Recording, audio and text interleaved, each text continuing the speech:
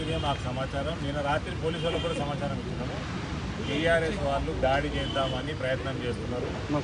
రాడ్లు కత్తులు అన్ని దగ్గర పెట్టుకున్నారు. దారిలో ఏదో ఒక గ్రామంలో ఆపి నా మీద నాకు వచ్చిన కార్యకర్తల మీద దాడి చేసి ఈ రాడ్లు కత్తులు పెట్టినట్టు దేనికోసమో మర్డర్ చేయడానికి కూడా వెనకాడడు జీవన్ రెడ్డి అని మనందరికి తెలుసు. ఈ మధ్య మీ జర్నలిస్టే పక్కన రైతులు వచ్చి కాపాడకపోతే మీ జర్నలిస్టు మర్డర్ అవుతాడు నాలుగు రోజులకి.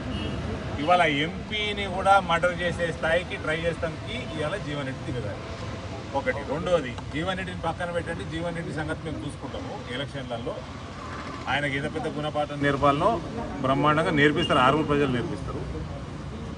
పోలీసు వాళ్ళ యాటిట్యూడ్.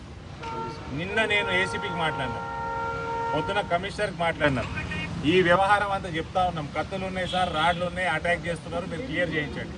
మీరు కోవిడ్ నామ్స్ అంటున్నారు. అక్కడ రెండు మూడు వందల మంది టీఆర్ఎస్ కార్యకర్తలు ఏం చేస్తున్నారు అక్కడ ఒకర ఒక దగ్గర?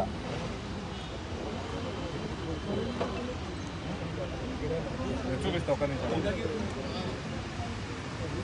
So commissioner of police attitude indifferent ఉన్నది. మేమేం చేయలేమంటున్నాం. ఆయన క్లియర్గా మేము ఏం చేయలేమంటున్నాడు. పోలీసు ఓన్లీ నా రికార్డులు ఉంటే ఇంత తెలిసిపోతుంది. మేము ఏం చేయలేమంటాం ఏసీపీ సార్ మేము ప్రయత్నం చేస్తున్నాము మీరు ఉండండి అన్నారు. ఈ యాటిట్యూడ్ చూసుకొని నేను ఆర్మూర్లో ఇవాళ గంట సేపు రాస్తారోకో చేసాం భారతీయ జనతా పార్టీ. మీరు తొందరగా క్లియర్ చేయండి మేము పోవాలి ప్రోగ్రామ్స్. అది అయిపోయినాక క్లియర్ చేసిండ్రేమో అనుకొని మేము పోలీసు వాళ్ళు చెప్పి బయలుదేరదామంటే బయలుదేరదామన్నారు పోలీసు వాళ్ళు.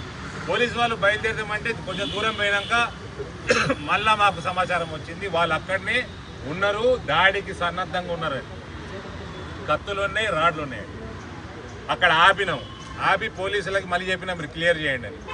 మమ్మల్ని అక్కడ ఉంచి మేము క్లియర్ చేస్తున్నామని చెప్పి పోలీసు వాళ్ళే టీఆర్ఎస్ వాళ్ళని అక్కడ పిలిపించి మేము ఉన్న చోటికి పిలిపించి ఇగో రాళ్ళతోటి నా నా కారద్దం పలిగింది కత్తులతోటి దాడి.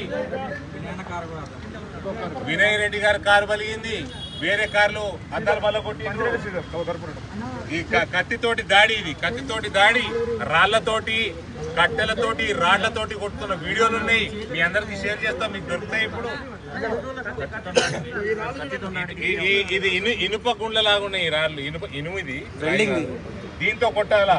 దీ- దీంతో కార్యకర్తల మీద కొడతా ఉన్నారు. ఛాతి మీద కొట్టడం దీంతో ఇసురు కొడతా ఉన్నారు. ఇవన్నీ దగ్గర పెట్టుకొని ఇవాళ టీఆర్ఎస్కి పూర్తిగా భారతీయ జనతా పార్టీని అటాక్ చేయాలన్నది టీఆర్ఎస్ ప్రభుత్వము. పోలీసు వాళ్ళని వాడుకుంటుంది. పోలీసు కూడా టోటల్గా టిఆర్ఎస్ తొత్తులుగా తయారై ఇవాళ నేను కంప్లైంట్ చేయడానికి స్ట్రైట్ అక్కడ నుంచి దాడి జరిగిన స్థలం నుంచి సిపి ఆఫీస్కి వచ్చినాను. ఇక్కడ ఒక్క ఆఫీసర్ లేడు. ఇవాళ నేను కమిషనర్ ఆఫ్ పోలీస్ కూడా ఇన్వాల్వ్ అయి ఉన్నాడు ఇలా ఈజ్ బిహేవింగ్ ఇండిఫరెంట్లీ నేనేం చేయలేము సార్ అంటున్నాడు ఆయన ఫోన్లో. మరి కరీంనగర్లో బండి సంజయ్ గారు ఎత్తుకపోయారు కదండి అన్న. కరీంనగర్ రూల్ వేరు సార్ మా రూల్ వేరు అన్న. బండి సంజయ్ గారు మాట్లాడిన బండి సంజయ్ గారు నాకు మాట్లాడుకుంటా నాతోటి కూడా అదే అంటాడు. మరి నల్గొండలో ఎడుకో పోయి వచ్చిండు కదా వీడు కేటీఆర్. వాడు ఎడుకో పోయిండు నల్గొండక వరంగల్కి ఎడుకో నల్గొండకు మరి అక్కడ ఎట్లా పోనిచ్చిర్రు అంటే అక్కడ రూల్ వేరని చెప్పినాడు. సో తెలంగాణలో ఒక్కొక్క జిల్లాకు ఒక్కొక్క రూల్ ఒక్కొక్క పార్టీకి ఒక్కొక్క రూల్ నడుస్తూ ఉన్నాయి. ఈ రకంగా పోలీస్ కమిషనర్లు వీడియో వీడియో అంటే షేర్ చేయి. ఆ, షేర్- చేయండి. ఈ రకంగా పోలీసులే టీఆర్ఎస్ గుండాలతో కలిసిపోతే ఇక్కడ భారతీయ జనతా పార్టీ ఎంపీగా నేను అడుగుతాను నేను ఇవాళ కంప్లైంట్ తీయాలి. పోలీస్ కమిషనర్ ఆల్సో ఆయన దృష్టిలో ఉంది మేము ఇచ్చిన దృష్టిలో పెట్టినాం రాడ్లు ఉన్నాయి ఉన్నాయి. అయినా కూడా పట్టించుకుంటలేరంటే దీని అర్థమైంది ఇవాళ టీఆర్ఎస్ ప్రభుత్వం ఏం చేయదలుచుకున్నది? దీన్ని మేము తప్- తప్పనిసరిగా భారతీయ జనతా పార్టీ జాతీయ నాయకత్వం దగ్గరికి చాలా సీరియస్గా తీసుకుపోతాము ఇట్లా అయితే ఇక్కడ మన కార్యకర్తలకి మన ఎంపీలకి మన ఎమ్మెల్యేలకి ఈ రకంగా పోలీసు వాళ్ళతోటే గూండాలుగా తయారు చేస్తే టీఆర్ఎస్ వాళ్ళు. పోలీసు వాళ్ళనే గుండాలుగా తయారు చేస్తే తెలంగాణ లా అండ్ ఆర్డర్ ప్రజలు కార్యకర్తలు నాయకులు ఇతర పార్టీ వాళ్ళ పరిస్థితి ఇది కమిషనర్ గారే చెప్పాలి నాకు ఇప్పుడు. నేను మూడు సార్లు ఫోన్ చేసిన కమిషనర్కి ఇలా మాట్లాడినా. ఏమైనా అంటే వీడియో కాన్ఫరెన్స్ ఉన్నాను ఎంపీ మీద దాడి చేస్తున్నామని తయారవుతుంది అంటే వీడియో కాన్ఫరెన్స్ ఆడ సిఐలు ఎస్ఐలు పిలిపించుకుంటున్నారు టీఆర్ఎస్ ఉండాలి. మేము ఎక్కడున్నామో అక్కడ పిలిపించుకొని దాడి చేపిస్తున్నాం. ఇది వ్యవస్థ ఇది. బండి సంజయ్ గారు మహేందర్ రెడ్డి గారు ఫోన్ చేస్తే ఫోన్ ఎత్తుతలేడు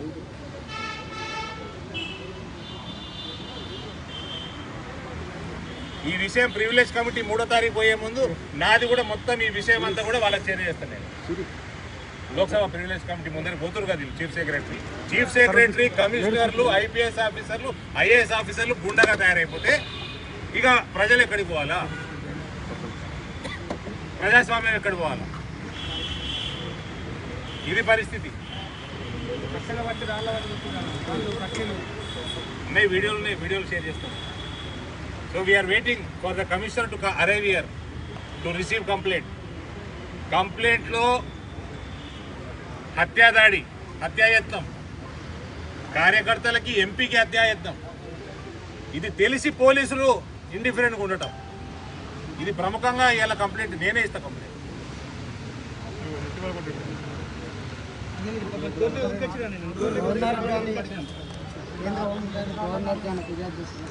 రాజా వీళ్ళు లాయనాడు ప్రాబ్లం వస్తుంది.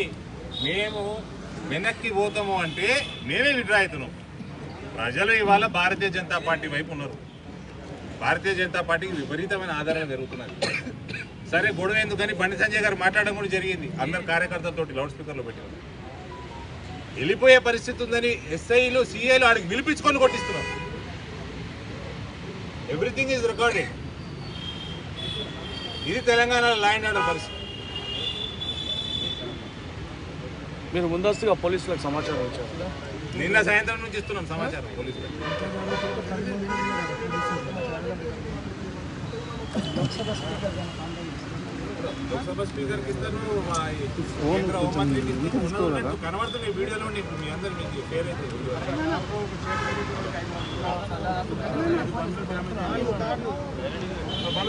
ఇటువంటి బండరాళ్ళతోటి అటాక్ చేస్తే ఇవన్నీ మా కార్యకర్తల మీద దాడులు చేసిన రాళ్ళు ఇవి.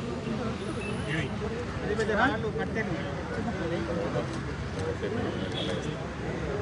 ఎవరున్నారండి వాళ్ళ మీద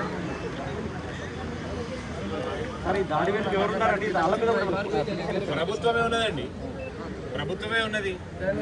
జీవన్ రెడ్డికి అయితే దాడి చేసుడు అలవాటు. మాకంటే ఎక్కువ మీకే తెలుసు. ఇవాళ మాకు తెలుసు. రిపోర్టుల మీద దాడి చేసిండు కదా. ఇవాళ పోలీసులు వాళ్ళ చేతుల్లో ఉన్నారు. పోలీసులు వాళ్ళతో దాడి చేపిస్తున్నారు. Police commissioner is involved in this. ACP is involved in this. సిఐలు ఎస్ఐలు ఎవరో చెప్తా ఉన్నారు నాకు. అక్కడ రెచ్చగొడుతున్నారు టీఆర్ఎస్ వాళ్ళని కుటుంబాన్ని అక్కడ విట్నెస్లు చెప్తా ఉన్నారు నాకు. అంటే ఇది రెండో సందర్భం కదా మీకు. మొదటి ఇంతకుముందు డిచ్పల్లి నియోజకవర్గంలో కూడా ఇదే అయింది. మళ్ళీ ఇదే అవుతుంది. మున్సిపల్లిలో ఆ రోజు అట్లీస్ట్ పోలీసులు వాళ్ళని ముందే చెడగొట్టాలి చెరవే మన ఏమంటారు? డిస్పర్స్ చేయాల్సింది. వాళ్ళు డిస్పర్స్ చేయలేదు. కానీ నా కాన్వాయ్ వచ్చినప్పుడు మాత్రం ఆపిండ్రు. అప్పటికి నా కారు మీద పడ్డరు గాడిదలాగా ఎగబడ్డరు నా కారు మీద టీఆర్ఎస్ వాళ్ళు. కానీ పోలీసు వాళ్ళు ఉన్నారు. ఇవాళ పోలీసు వాళ్ళు కూడా లేరాడా? మూడు వందల మంది టీఆర్ఎస్ వాళ్ళు ఉంటే ఐదు ఆరుగురు పోలీసు వాళ్ళు ఉన్నారాడా ఊర్లో? ఇది నిజామాబాద్ పోలీస్ డిపార్ట్మెంట్ మీద ఎంక్వైరీ కావాలి తరువు ఎంక్వైరీ కావాలి. నేను అనేక మార్లు చెప్పినాక కూడా వాళ్ళని పిలిపించి దాడి చేస్తున్నారు. ఇక వాళ్ళని ప్రొటెక్షన్ నేను ఈసపల్లి దగ్గర ఆపుకొని మీరు ఆలూరులో క్లియర్ చేస్తారు అని వాళ్ళు చెప్తే నేను ఆపుకుంటే ఆలూరుకి వెళ్ళి పిలిపించి పోలీసు వాళ్ళు మా మీద దాడి చేపించారు. ఇది తెలంగాణలో పరిస్థితి లా అండ్ ఆర్డర్ పరిస్థితి. బీజేపీ కార్యాచరణ ఎలా ఉండబోతుంది? ఇది బీజేపీ కార్యాచరణ బీజేపీ కార్యాచరణ నడుస్తూనే ఉంటుంది కానీ ఆ బా కార్యాచరణకు భయపడే కదా ఇవన్నీ చేస్తున్నారు ఇక దీన్ని కేంద్రం దృష్టికి తీసుకుపోవాలి.